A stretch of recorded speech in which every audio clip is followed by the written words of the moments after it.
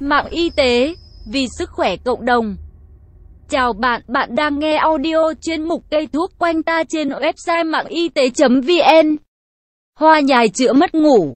Theo đông y, hoa nhài có tính bình, hơi hàn, vị đắng, có tác dụng thanh nhiệt, giải độc, lợi thấp, tiêu thủng, hoạt huyết, vân vân.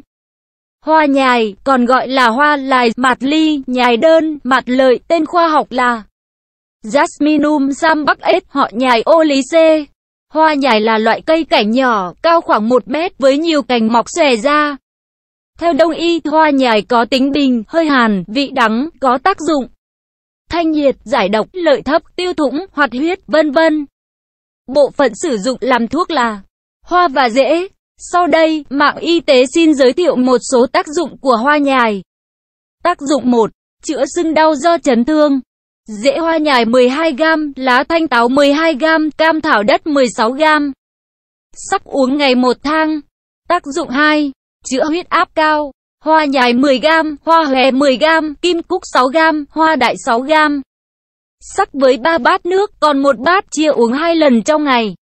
Vào buổi sáng và tối, sau bữa ăn. Mỗi liệu trình uống 10 ngày. Tác dụng 3. Chữa mất ngủ. Hoa nhài 6g, tâm sen 8g. Hạm hoa nhài và tâm sen với nước sôi, uống nhiều lần trong ngày. Uống liên tục từ 7 đến 10 ngày, sẽ thấy kết quả rõ rệt.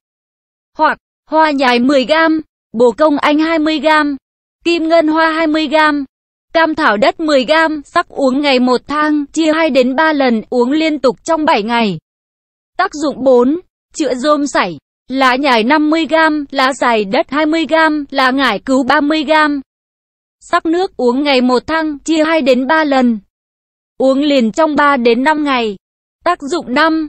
Chữa đi tiểu nhiều. Hoa nhài 5 gam, ngân hạnh 3 gam, sắc với 3 bát nước trong 1 giờ.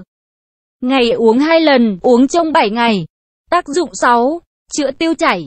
Hoa nhài 6 gam, chè xanh 10 gam, thảo quả 3 gam, vỏ rộp ổi 3 gam. Cách dùng. 4 thứ trên đem sắc với 600ml nước, còn 200ml chia 3 lần, uống trong ngày, uống sau các bữa ăn.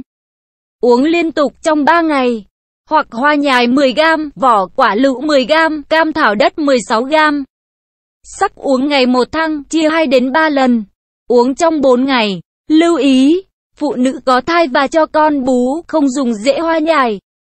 Dược sĩ, Mỹ, nữ. Nội dung bài viết đến đây là kết thúc. Nếu bạn có thắc mắc, câu hỏi gì xin hãy chia sẻ bình luận bên dưới bài viết này. Mời bạn hãy đăng ký kênh Mạng Y tế, chia sẻ bài viết này tới bạn bè và theo dõi thêm những audio tiếp theo. Hy vọng bài viết này sẽ đem lại cho bạn nhiều điều bổ ích. Chúc bạn luôn mạnh khỏe.